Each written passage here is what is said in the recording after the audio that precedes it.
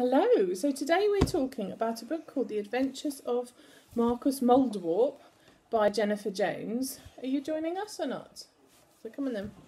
Um, and it, it was lovely. We liked it very much. There were more adventures in the book. It's it's a fabulous book, and at the back there's lots of facts about moles and facts about worms. We've we've done lots of learning.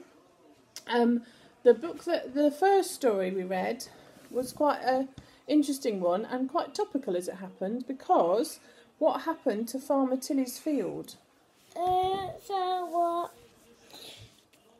There was lots of rain, Yeah, and it made the field into a pond. it flooded, didn't it? Like our garden has. So it was a book that we could relate to because our grass has all been flooded, hasn't it? So, so Markus Moldewarp and his friend. Can anyone remember what his friend was called? Uh, wiggle. Called Wrigley. That's right, Quiggly Wrigley, who's a worm.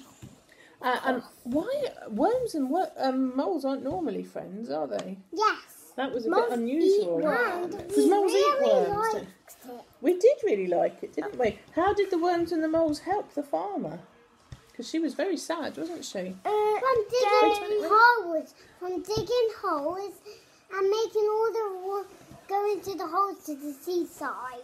the water went to the seaside. Yeah, that's right. They dug tunnels, didn't they? Yes. And they were super helpful, and they called all their mole and worm friends to help them. Yeah. Uh, but did it work? Did they save the field? Yes. Yeah. And was the worm was a really weird worm because it was rainbow stripy. It was a stripy worm. I think perhaps he had a jumper on. It's Oh. probably cold down there. I don't know.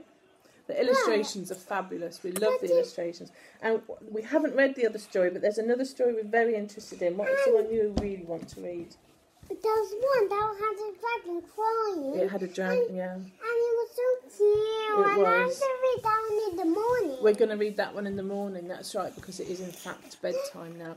And there was another story as well. There was so I can one. finish my dream. There was one on the moon, wasn't there? Yes, one to the moon. So we've got so much more to explore in this book. It's fabulous.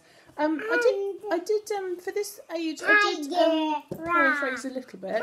They're quite long, um, but I, I know that um, if biggest sister was reading to them, then that would work very well. I think um, the illustrations are just beautiful, and the stories are really fun.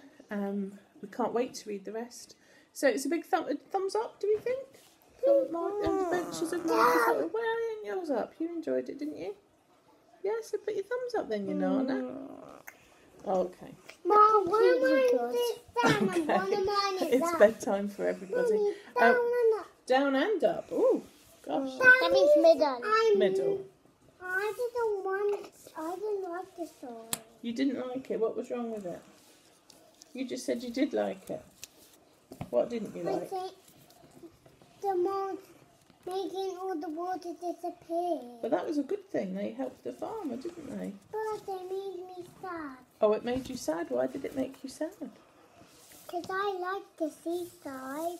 Oh, yeah. It's not. This not the seaside isn't going to be flooded with mud or anything. The seaside's mm. totally okay.